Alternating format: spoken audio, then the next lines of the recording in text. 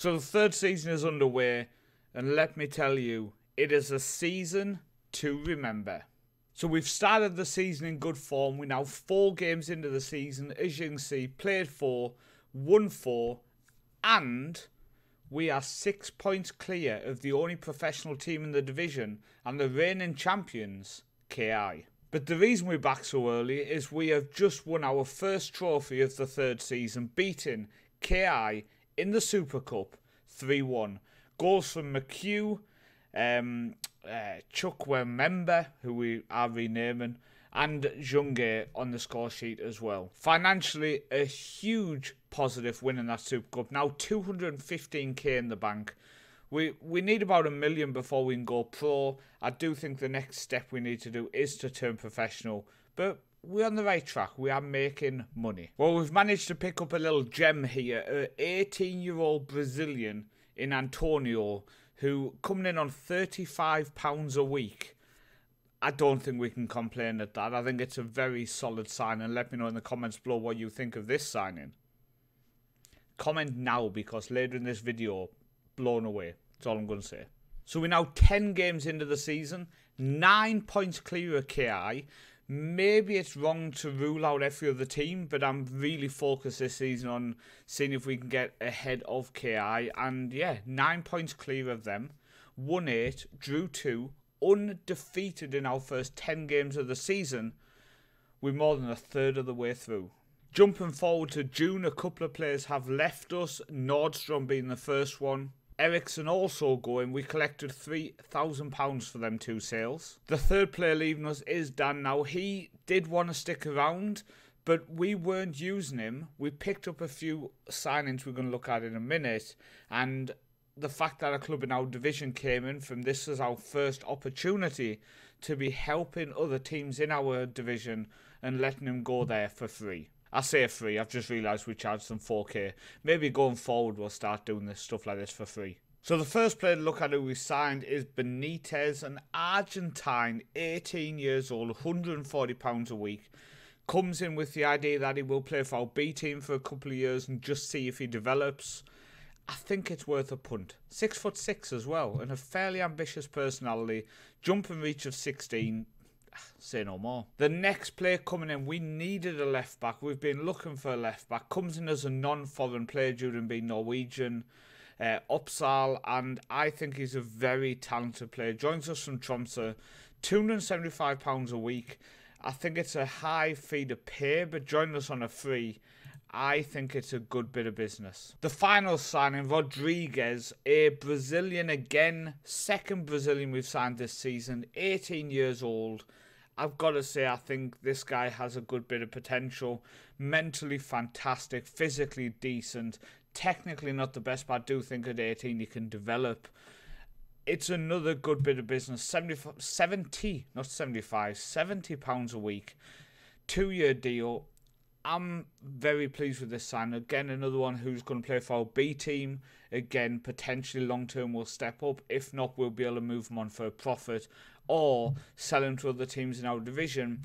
Bringing in these players to the Faroe Islands League means we can then maybe move them on to other teams in our division who maybe couldn't have picked them up in the first place. And the final thing to point out at this point of June the 15th, as we are still unbeaten in the league 112, drew 3, lost none. We are now only 7 points clear of KI, who have now appeared in second place after a poor start to the season. But we still top, we still undefeated. We are still semi-pro playing against a professional team in KI. I don't think we can complain. The final thing to mention is our league reputation. We have gone from 131st ranked league in Europe to 117th, just behind the Norwegian third tier. We are now up to a one and a half star league as well, which is very nice. So definitely seeing progression. We're only in our third season and we've already risen to the 117th best league in the in the European coefficients ranking. And also AB, due to this being our first season, second season in Europe, we are now ranked in the European club rankings. We are up to 578th best team in Europe. Celebration time. Youth intake preview is here and it's um, it's shocking. It's it's shocking. So we might be undefeated in the league, but we went out in the first qualifying round of the Europa Conference League, a 4-1 defeat away from home to Tobel. Um, the worst thing I think about this whole situation is the fact that we were the better team. 11 shots to 8, 5 on target we had to their 6. But they scored on the 9th, 40th, and 45th minute. And the fact they went in with three goals in the first half, the tie was over. We managed to get a 2 1 victory at home with um, Scala and Michaela on the score sheet, but at that point, it's done. It's done. 4 1 defeat away from home. We went out in the first qualifying round in Europe. Financially, it helped us because we got money for just taking part. We're up to 355,000 in the bank at this point, 18th of July. Couple of more outs then. For a couple of K, Toure has ended up leaving the club. He was a, a solid backup for us, but we wish him well. He's moved on, 27 years old. And Caleb has left us. Now, he was a goal scoring machine, 18 and 23 but he didn't want to sign a new deal. His contract was running up, running out in six months, and we picked up 20k for him. When you look at his valuation now, you would say that's a poor bit of business, but it was either selling for 20k or losing for nothing in six months' time. Now we have added a few players to the squad. This player who we looked at in the previous episode was coming in on a pre-arranged contract. Absolute waste of money. I accept I took a punt when I could only see half his attributes. Waste of money. Now, coming in to strengthen our defence, coming in as a foreign player, former Borussia Dortmund youngster in Nico, and he is a very, very solid 18 year old Polish player for this level. Like, unbelievable signing and on a two and a half year deal. Now, also joining us, a Serbian 19 year old winger stroke striker on a two and a half year deal again and again, I think a very, very solid player. Signed on the back of Caleb leaving us. We needed to fill that gap. I'm really, really pleased with this sign. I think he could develop into a very good player. But then we smashed it out the water with by far one of the best signings I've ever brought in this early on this type of save in Mauricio. 18 year old Brazilian. I'm getting recommended so many Brazilian players on this save. I don't have a scouting budget open. We are going to do a guide on how to save money with scouting going forward, but I have nothing active. These are just recommended from agents.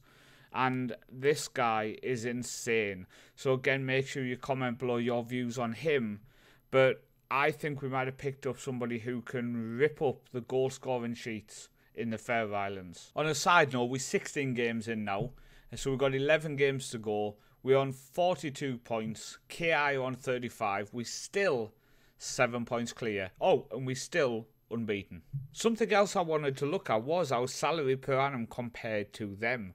We are paying a quarter of what KI is spending in a year. They have a 1 million salary per year.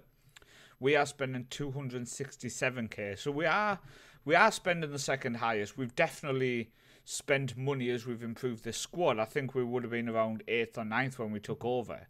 Um, but we can afford it. We are financially in a good position. But yeah, they are spending four times what we are spending. So the season is over. Before we review how the season ended for AB, let's have a look at the Faroes national team for the first time in this video. So you can see we started the year by going out in the Nations League relegation playoff. We got a 4 1 defeat away from home to Northern Ireland. We did come back and get a 3 3 draw. We were 3 0 down when we made a few tactical changes. We decided to go for a little bit more. 3 3 at home, Northern Ireland.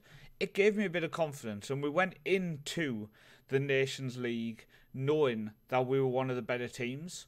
We did play Andorra in a friendly in the build up to that, who we were due to play in the Nations League and got 5 2 victory away from home. And then we entered the Nations League with a 1 0 victory over Andorra on the opening day with Carlsberg on the score sheet. A 2 1 victory away to Estonia, where they were predicted to win. We were expected to lose. Very, very nice victory. 1 all away to Gibraltar and a 2 0 away to Andorra puts us in a very healthy place, first place, 10 points, one point ahead of Estonia. I'm pleased with that. Um, if we're going to the performance side of things, we have a C. Uh, competition wise, they don't care. Um, it it just appears they don't care about competitions. So we can. It seems we can always hold on to our job, no matter what we do, because they they don't care. In terms of player wise, we have had to let a few players leave and well release them from the national team due to age. So we have a whole new backline going into the future seasons. So we have Hansen, who's 32 at right back. There's a couple of years left in him. In central defence, then we have Auberger, who you can see is joining our club. We're going to look into the signings I've already pre-arranged in a second. Who's 22 years old. He has been in the Faroe Islands the last couple of years. He's Danish by birth, but now can play for Faroe Islands. Alongside him is 17-year-old B36 player, uh, Reslag, and he's a very solid defender, and he's only going to get better. That's why he's been getting given national team games at the minute. Um, alongside him is Davison, who's 33 and does need replacing, but left backs for this this national side are an absolute struggle to find. Now, one thing I would mention this year is Junge qualified to start to play for the Faroe Islands, obviously again Danish by birth in the AB squad. He has played six games now for the Faroe Islands national team, scoring four goals. So as he's been doing for AB, scoring goals regularly, he is now doing it for the Faroe national team. Now, we needed more depth with AB in central midfield, so we've managed to sign from um, Goethe, this 20 year old Faroes player who very, very all rounded, a decent player. Comes on a non contract. He is going to play for our B team, but he adds a bit of depth if we are really struggling with injuries if we lost two or three of our central midfielders, we can push him up and he can get first team football. And also, Stian Mulder, who we signed at the start of the season, we were offered a thousand pounds from two Norwegian clubs and B36 in our league. So we rejected the two Norwegian clubs and sold him to B36 in our league. Again, starting to build the nation. So I guess the first point of call should be the cup, and we have retained the cup title. So we are now reigning champions of this cup the last two years in a row, winning 2 0 over Goethe in the final. Mauricio and Admashek on the score sheet then. 8 1 victory in the semi final was definitely the highlight of this cup competition, this cup run. But we are the reigning champions now in the cup. Now, in the league, this happened. And we are the undefeated champions of the Faroe Islands League now. Absolutely insane. Played 27, won 22, drew 5, lost 0. I'm trying to remember the last time I went through a season undefeated. I think it would have been with Cork City a couple of FMs ago. But it's the fact that this is only our third season. We are a semi professional club up against a professional club in KI. We are now next season playing in the Champions League. And we saw from KI last season, if you go out of that, you go into the Europa League, and if you go out of that, you go into the Conference League. So we will have a good stream of income coming in now due to this huge success. Now, in terms of transfers, we have set up so coming in over the winter already is the Faroe Islands number one goalkeeper. He's joined us from Viking Goethe. He's not even their first choice keeper, but I don't quite get that because he's miles better than their actual first choice keeper. And um, we've already mentioned um, Auberger. He's joining us from um, 07 Vestur. Very, very good central defender. Um, we have a new right. I promised I wouldn't sign any more Brazilians, but 18 years old.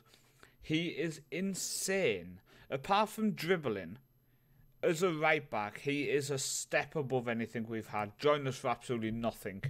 You cannot complain. Coming in from B36 is one of our defensive midfielders on the Islands national team. We needed still to add depth to our squad. Yes, I want to build the nation, but I also need to make sure we can push on. And the fact, again, next season we're up against a professional club in KI, we need to make sure we keep building ourselves up. And also from 07 Vestur, the top assist maker in the division this season in Carlsberg, suggested in the comments by some of you guys, is joining us for next season. When we look back at the season just gone, Ragnar Skarla with 19 goals and 15 assists has been insane again. Again. What a player he is. 24 years old now, came through the academy. I cannot say enough words about this man. 19 goals from central midfield, 15 assists from central midfield. Say no more. Um, second place, Mauricio only joined us three quarters of the way through season, only managed to play 11 games, scored 12 goals in them games.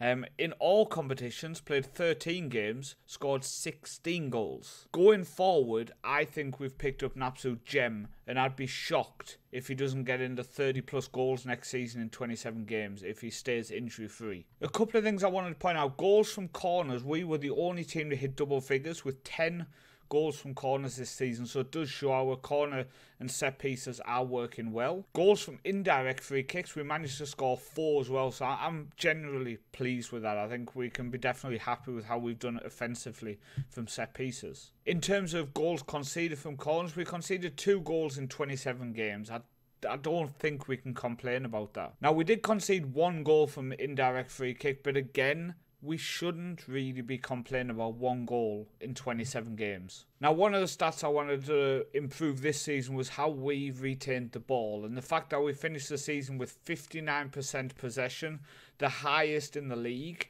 Um, I'm very pleased with that. Now, we didn't have the highest pass completion at 76%, but it is something going in next season we can work on.